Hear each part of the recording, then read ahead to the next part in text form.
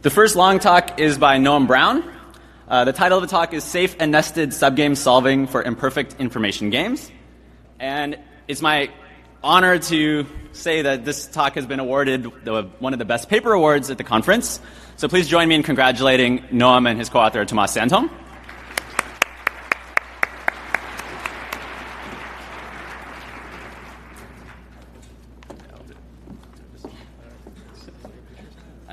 I.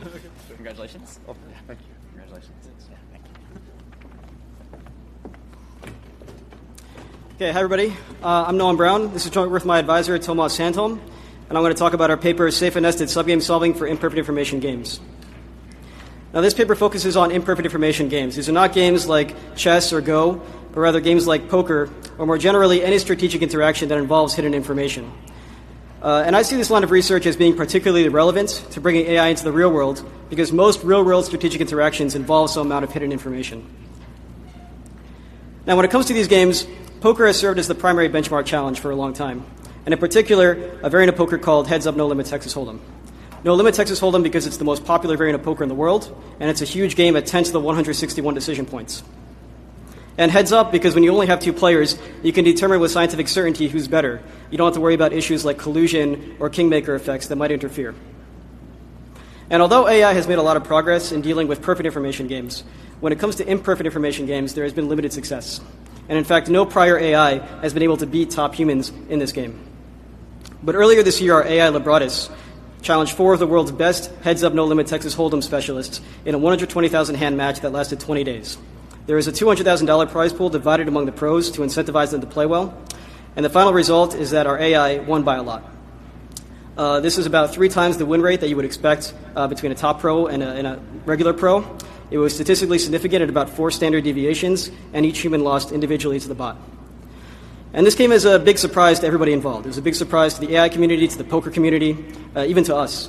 And uh, I think what really demonstrates this is that if you look at the betting markets, there was a very active betting market leading up to this competition because they're poker players and they like to gamble. And uh, the betting odds against us were about four to one at the start of the competition.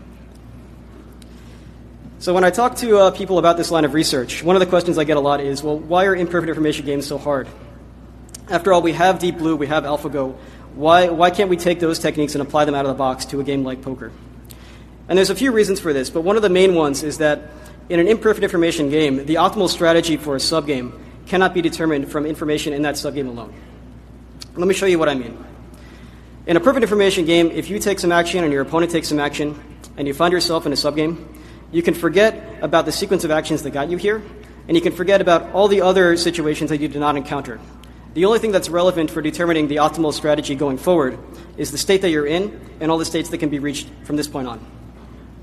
And in imperfect information games, this is not true. In imperfect information games, you take some action, your opponent takes some action, you find yourself in a particular subgame.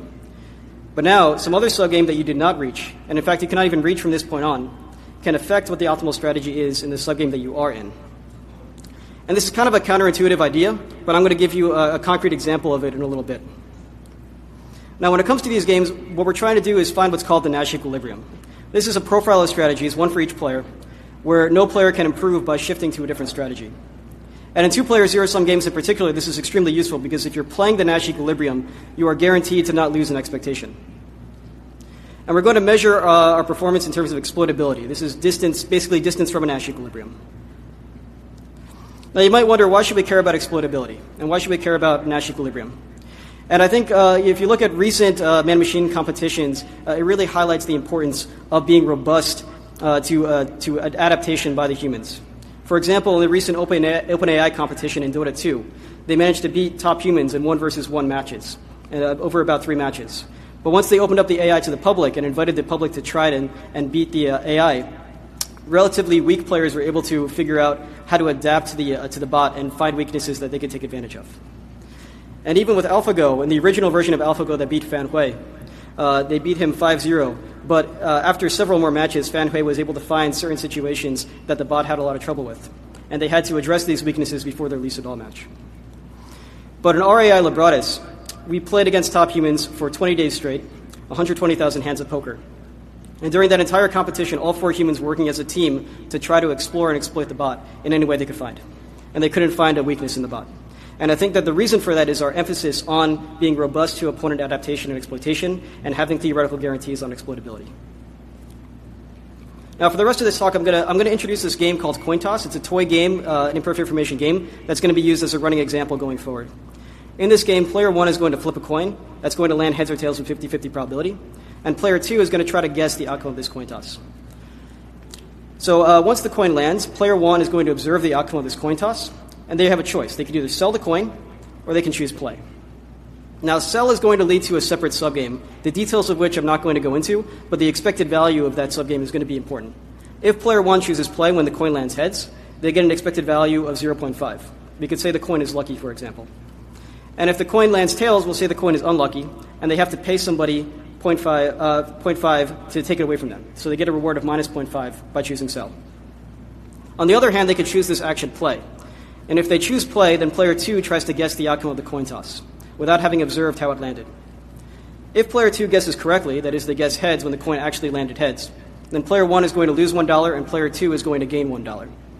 And I'm showing the rewards here only for player 1 because uh, player 2 is simply going to receive the opposite reward.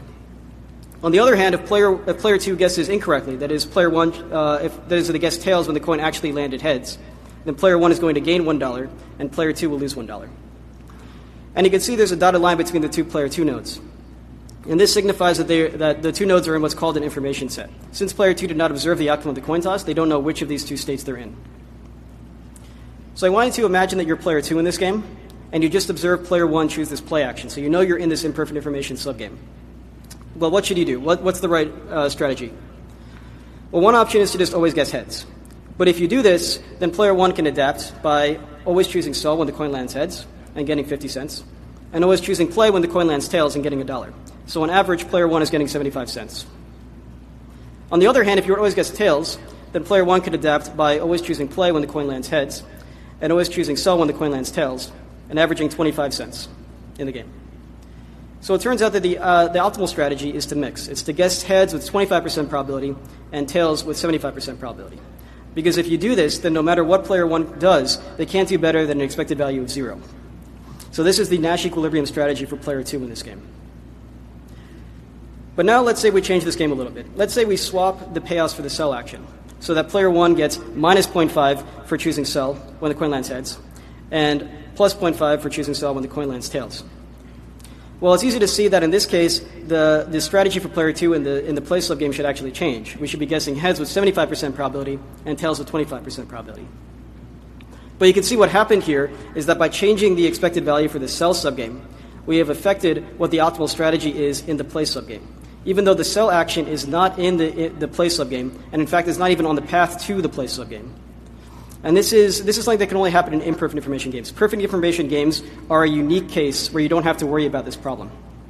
So when you're dealing with imperfect information, you always have to consider the, the entire game as a whole when you're deciding the optimal strategy for a particular situation.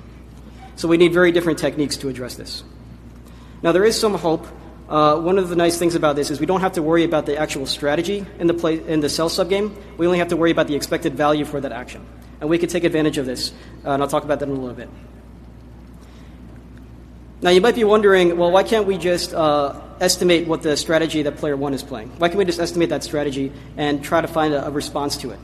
And this is a technique called unsafe subgame solving. Basically, the idea here is we're going to estimate a player one strategy, and then we'll uh, determine a much better strategy in the player t- in the play subgame uh, that responds to that that strategy. Uh, and I'll walk you through an example of this. You could say, like, after the coin lands, uh, we know that we're in one of these states with 50-50 probability each. And now, when player one chooses play, well, we would have es- we've estimated that player one would choose play with 80% probability when the coin landed heads, and 30% probability when the coin landed tails. So we're going to update our beliefs and say that now we're in a 73%, there's a 73% probability that we're in the left node and a 27% probability that we're in the right node. And now we're going to determine an optimal strategy that responds to this belief distribution. But in that case, the optimal strategy would be to guess heads with 100% probability, and we've already established that that's a really bad strategy because player one could simply adapt by shifting to a different strategy. So you can't make assumptions about how the opponent is going to play because they could always switch to a different strategy. Uh, in fact, unsafe subgame solving can lead to very high exploitability, both in theory and in practice. What we do instead is something called safe subgame solving. This has been an area of research that has uh, been developed over the past few years. Uh, the idea here is that we're going to estimate the values the opponent receives in subgames. We're, we're not going to make any assumptions about how they actually play. So, for example, we can estimate the value of the sell action for player one.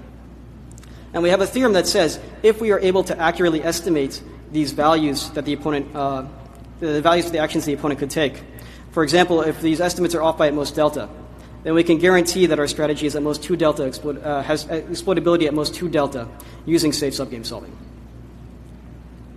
And in fact, in some cases, we can actually do better than this. Um, for example, in this case, uh, player 1 receives an expected value of minus 1 for choosing sell, regardless of which state they're in. And obviously, there's no way to make player 1 indifferent between the sell and the play action in this case. The best we can do is uh, force them to get an expected value of 0 for choosing play. But if we look at prior actions that the opponent could have taken, we, could, we might be able to do better than this. For example, maybe after the coin landed heads, there was some action that player one could have taken that would have led to a reward of $100. Well, if we find ourselves in the play subgame, then they would have had to have given up this expected value of $100 earlier on if, they were in the, if they're in the head state. So, by reasoning about this, we can allow the value of player one to increase in the case of uh, the head state and in the process lower the value of player one in the tail state and still be safe, still guarantee that they're not doing any better than before. And in fact, are actually doing worse in this case. So, reach subgame solving uh, guarantees that, the, uh, that we can do uh, just as well as past subgame solving techniques, safe subgame solving techniques, and in some cases can actually do better by looking at past actions the opponent might have taken. Now, I'm glossing over a lot of the details because this is a short talk, but uh, the actual implementation of this is very difficult to do correctly. And in fact, two prior papers have tried to do something similar to this, but actually uh, did it in an incorrect way that allows exploitability to be very high in certain cases. Now, there's another use of safe subgame solving, which is dealing with large action spaces. For example, let's say we're dealing with a, uh, an auction, uh, an auction game, where uh, players can bid any amount between $0 and $1,000. Well, dealing with a branching factor of 1,000 is pretty, is pretty difficult. What we can do is reduce the complexity of the game by only considering, for example, bet increments of $100. And the reasoning here is that there really isn't that big of a difference between bidding $200 and $201. But now, if the opponent were to actually bid something like $250, then we have to round it to a nearby size. So, for example, we would round $250 and treat it as if it were a bid of $200. But sub- safe subgame solving gives us an alternative to this. Rather than rounding it to a nearby action, we can come up with a subgame in response to that action uniquely and solve it in real time. And we could try to make the opponent no better off for having chosen that action than one of the actions that are already in our abstraction. And actually, we have a theorem that says if the off tree actions, that is, the actions that are not in our abstraction, are not much better than the actions that are already in our abstraction, then safe subgame solving will produce an approximate Nash equilibrium.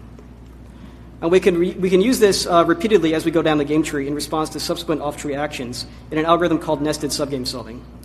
Here we start with a very large game that's simply too large to solve up front, and we find an approximation for how to play in the entire game as a whole. This is called the blueprint strategy. And now, during actual play, if we find ourselves in one of these subgames, we come up with a much better strategy in real time for that subgame, while fitting that strategy within the overarching blueprint that we've already computed. And we repeat this process as we go down the game tree. When we find ourselves in another subgame, we again find a much better strategy for that particular subgame while fitting it within the overarching blueprint that we've already computed. Now, in terms of experiments, we find that these techniques lead to far lower exploitability. Uh, we are not the first paper to introduce safe subgame solving, but the techniques that we introduce uh, lead to a three times improvement over past safe subgame solving techniques. And nested subgame solving leads to 12 times less exploitability compared to action mapping techniques that I described earlier. And also, in terms of head to head performance, these techniques lead to a dramatic improvement. Uh, there, is a, there is a competition called the Annual Computer Poker Competition, where researchers who work on imperfect information games get together, make an AI for poker, and play them against each other. Now, the previous best bot is called Baby Tartanian 8. This is our, our 2016 bot that won the competition. Uh, it beat the next closest competitor in the competition by 12 millibig blinds per hand. This is a measure of win rate in poker. And that, that bot was Slumbot. And it beat the 2014 champion by uh, 25 millibig blinds per hand. There was another AI called DeepStack that came out around the same time that also uses sub- safe subgame solving and also has very low exploitability. But in terms of head to head performance, was not able to beat Baby Tartanian 8. But RAI AI Libratus, which uses nested subgame solving, is able to beat Baby Tartanian 8 by 63 millibig blinds per hand, which is a, a wide margin. And this is due largely to, to, nested subgame solving. In fact, if you don't use nested subgame solving in Libratus, it's only about tied with Baby Tartanian 8. So to summarize, the contributions of this paper is that we developed domain-independent techniques for imperfect information games with provable guarantees on performance and exploitability.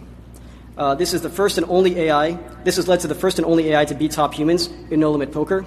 And we introduced new aspects to safe subgame solving that allow this achievement, such as considering previous actions that the opponent could have taken and uh, doing nested subgame solving, responding to off tree actions. There are also techniques in the paper for being robust to errors in the model, which I don't have time to go into. And I think what really highlights this achievement is that if you look at the annual computer poker competition, between 2014 and 2017, none of the top teams used, used real time subgame solving. But in 2018, which is uh, the 2018 competition, which is coming up in about two months, nearly every top team intends to use real time subgame solving in their agent. So I'm going to stop there. I'd be happy to take questions. And just uh, one more thing there's going to be a demonstration of Libratus tonight at 7 p.m. And one of the top poker players that we played against, Jason Les, will be there to demonstrate the bot as well. Thank you.